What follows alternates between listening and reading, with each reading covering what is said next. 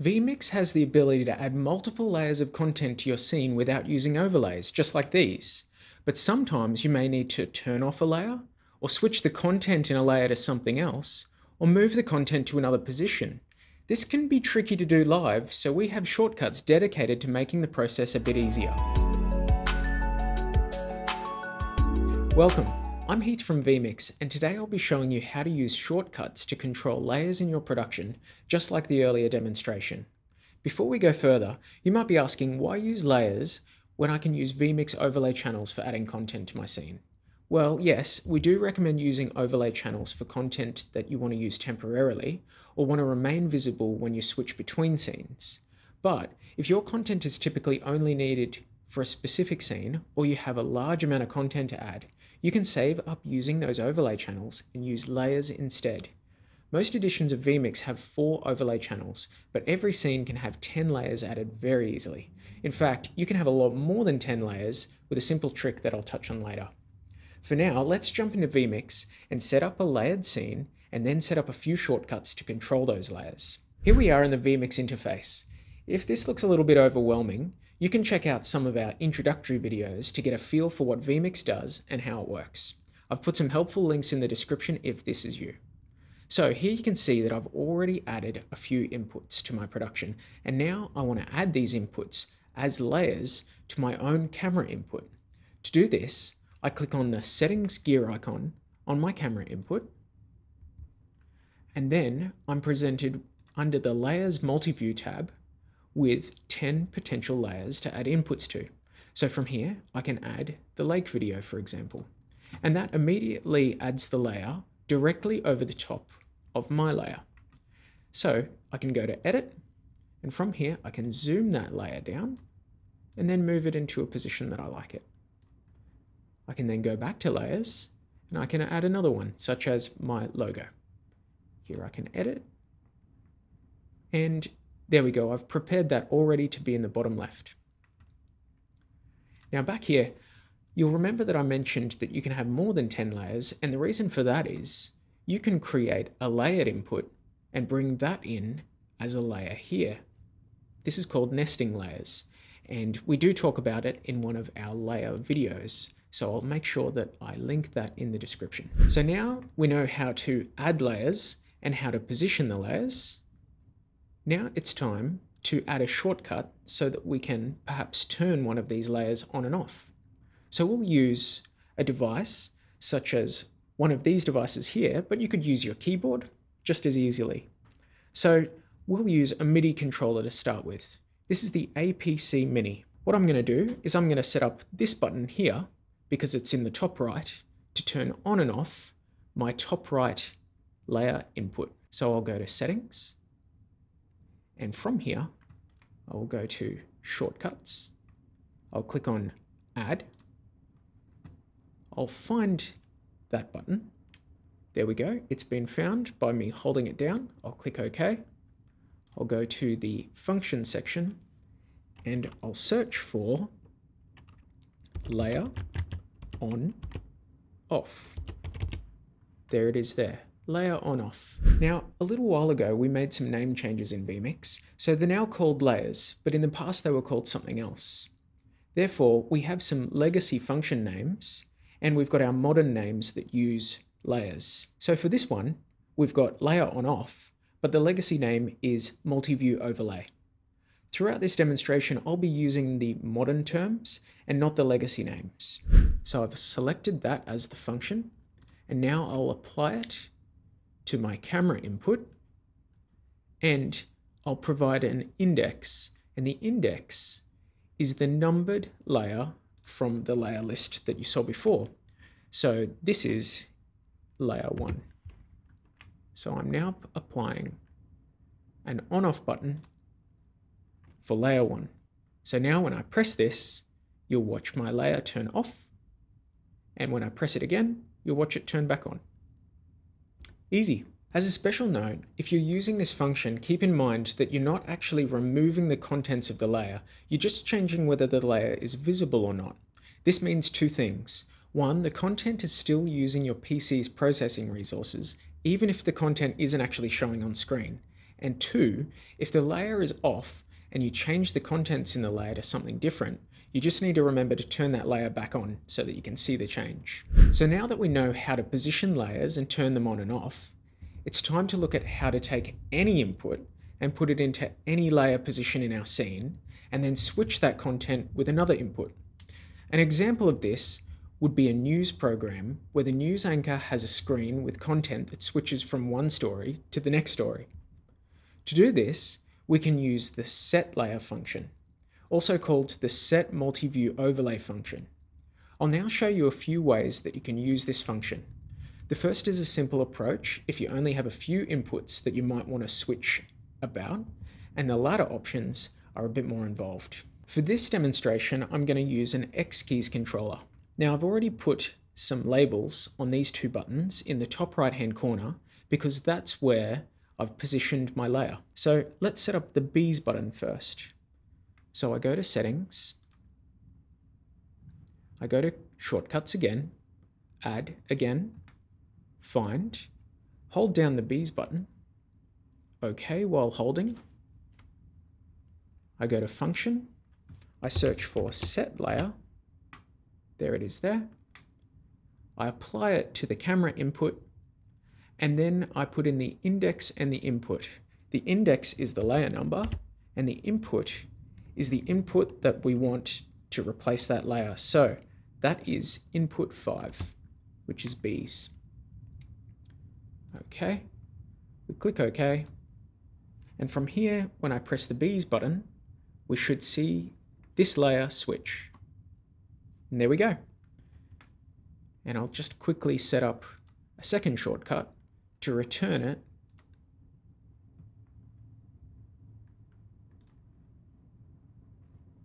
to the lake. So I'll hold down the lake button, click OK, go to the function, click on set layer, there it is, apply it to the camera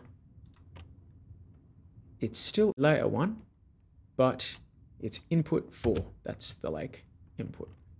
Okay. And okay. So now we can switch between the lake and back to the bees. Now this next method is a more complex method and uses a dynamic shortcut function called set dynamic input. If you want to know more about dynamic shortcuts, you'll find a link in the description to one of our videos that goes through this topic in detail. But for now, all you need to know is that set dynamic input specifies the input number of your choosing. You can then use the set layer function we used before to select the layer that you would like that input number to be positioned in. This means pressing two buttons, one to set the input and one to set the position. This is a traditional switching approach and offers a lot of flexibility but also requires more button presses. For this next demonstration, we're going to use the X-keys again. But this time you'll see that I've changed the labels on the buttons to reflect inputs along the bottom, and then various locations for those inputs to go along the top. Now before we set up any shortcuts, we need to go into the settings and position these layers to reflect these buttons. And to do that, rather than going to edit like before, we have some templates that we provide in vMix that speed the process up. So if I scroll to the bottom, I can select this layout right here by clicking on it. And now each of the layers 1 through 9 are positioned in these quadrants. I'll show that by putting something into input 6, which is the middle right. Let's put the lake there. And there we go. So I'll turn that off now. And now it's time to set up the shortcuts. So now from here we can go up to settings, shortcuts again, and we can create some new shortcuts. We'll add the dynamic shortcuts first that will reference these various inputs. So I'll click on find and I'll start with the logo. I'm holding the logo key down and clicking OK.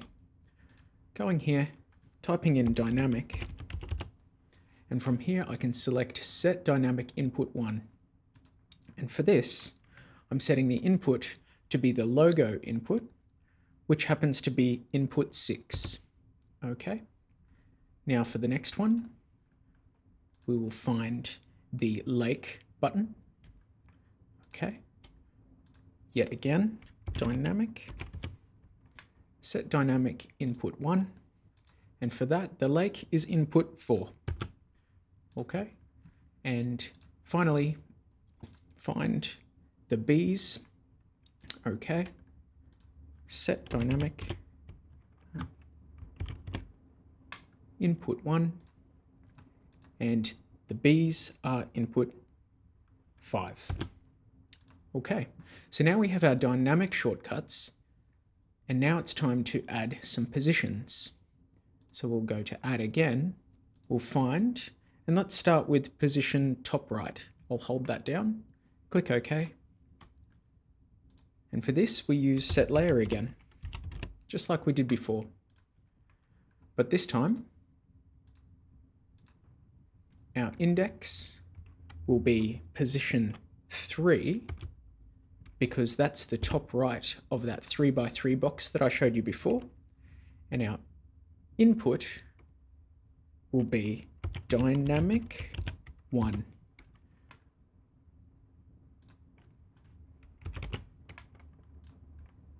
There we go. And I'll click OK. And so now, if I click OK, if I press the top right button, it will fire whichever of these buttons I've pressed most recently because that will be the dynamic input set. So let's start with the lake. I'll press lake and now I'll press the top right. And there we go. We've brought the lake into the top right of my scene. And you could do the same with any of these buttons by setting them up. And that way, when you fire a button, like the logo, you can send it to any of the positions, but we've only set up this one, so I'll click it now. There we go, we've switched to vMix. Now imagine if we had 20 inputs instead of just these three and wanted to use them with all nine different layer positions, you might start to realize that to have the full flexibility of adding any input to any of the nine layer positions will require a lot of buttons and many devices just don't have enough. So as a final option for those using an Elgato Stream Deck, you might find this alternative a good middle ground between the first method and the second.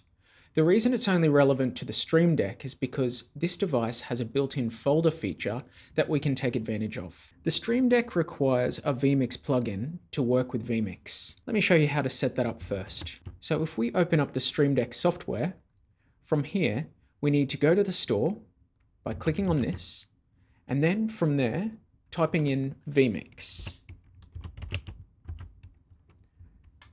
From here, we can install the plugin. Now, once that's installed, that gives us access to shortcut buttons that we can apply to our keys. You can see that this happens live. These can be used straight away in vMix, but we're going to set up shortcuts inside folders, and I'll show you why soon. So by right-clicking on a button, we can create a folder. Here, we can change what the folder looks like. And so that means that we can select something like a picture in picture for a top left. Now, if we go into that folder, add some shortcuts,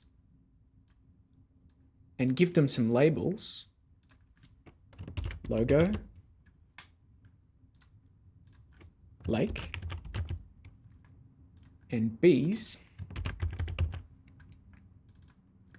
Now we can use this button and access these buttons as inputs in our vMix production. So I'll go back and I'll make a copy of this and I'll paste it right here. And from here, we'll change that icon to be the top right. So now I've got a top left shortcut folder and a top right shortcut folder. So we can close this down now because we now have buttons ready to set shortcuts up on. So we'll go to settings, go to shortcuts, we'll click on add, and we'll find a button. So firstly, we need to go into the folder, and from here, let's click on logo. Okay. So that's now applied the logo button to that shortcut. We'll set the function to be set layer, like we've used in the past. Apply that to the camera input, and because its index is the top left, that's item number one, and the input for the logo is input six. Okay. And we'll add one more. Add, find. We'll hold down the lake. Okay. Apply set layer to the camera input. Position one, input number four is the lake. Okay. So now we have two buttons set up. So if I take this back, now if I wanted to send one of those two inputs into the top left position, I would click on the top left position folder.